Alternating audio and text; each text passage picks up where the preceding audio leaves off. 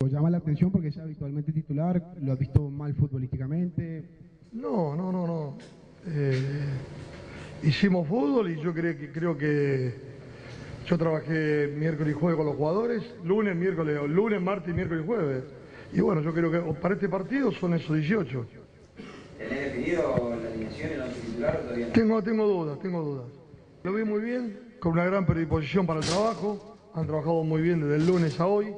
Hoy, hoy fue, hoy fue un trabajo más corto, pero han trabajado muy bien. Lo lo- la verdad que lo vi muy bien. Sabemos que jugamos contra un rival difícil, un equipo como Vélez que, que, tiene muy buenos jugadores, un equipo...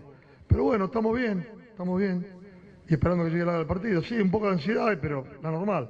Los jugadores están tranquilos, yo estoy tranquilo. Y estamos esperando la hora del partido para jugarlo. No hay que jugarlo antes, hay que jugarlo el- cuando llega el momento. Lo importante no es jugarlo antes, jugarlo en el momento que, empieza. Lo fundamental es tratar de... Yo tengo que tratar de trabajar, como, como dije el, día de la presentación, tratar de, de ser un equipo corto, un equipo contundente, un equipo que, que presione todos los sectores del campo y un equipo que juegue bien. Eso es lo que estamos buscando, lo que buscamos entre miércoles y jueves. A un entrenador le preocupa todo siempre.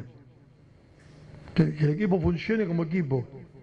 Porque un jugador no va a, el- el equipo va a funcionar si funciona el equipo. Un jugador no va a salvar a todos. Y si el equipo funciona bien como equipo, va a salvar a todos. Hay que tratar de jugar el partido como se debe jugar. Y bueno, lo que, lo, que deciden adentro del campo son los jugadores y le tengo mucha fe. El Racing es un grande, vamos a tratar de ganar el partido. Yo siempre quiero que mis equipos ganen.